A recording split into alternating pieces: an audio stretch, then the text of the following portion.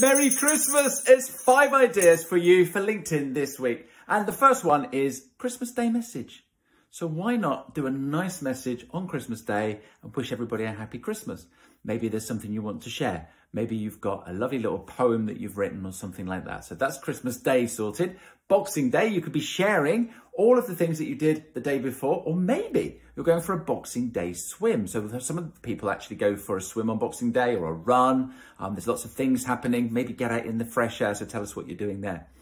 Uh, on Thursday, I am doing a show with Tracy Owen and we're going to help you plan for 2024. So maybe you could be writing about your plans for 2024 or come along and join us. It's going to be live. It's going to be at 10 a.m. on the Thursday. So if you're fed up with Christmas, you've got nothing to do, why don't you come along and we'll come up with some great ideas to help you. It's live, uh, but it will be recorded. So if you go to my link that I, that's in, in the newsletter, uh, and I'll leave the link here as well, uh, then it's going to be recorded as well.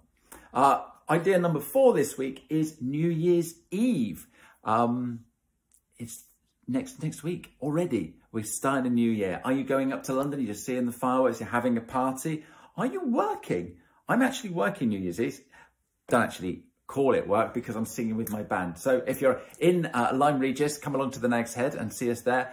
But you can be writing loads of different things about New Year's Eve. And finally, my last idea this week for content is review of the year. What have you done this year that's been absolutely outstanding?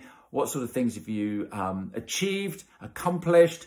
Do you have any team members to shout out? Do you have any clients to shout out? Um, there's loads of different things that you can come up with to do a good review of 2023. There you go. There's five ideas for LinkedIn this week. But if you want to take some time off, then don't worry about it. And I will be back here on New Year's Day with five more ideas to kick off 2024. Have yourself an absolutely fantastic Christmas.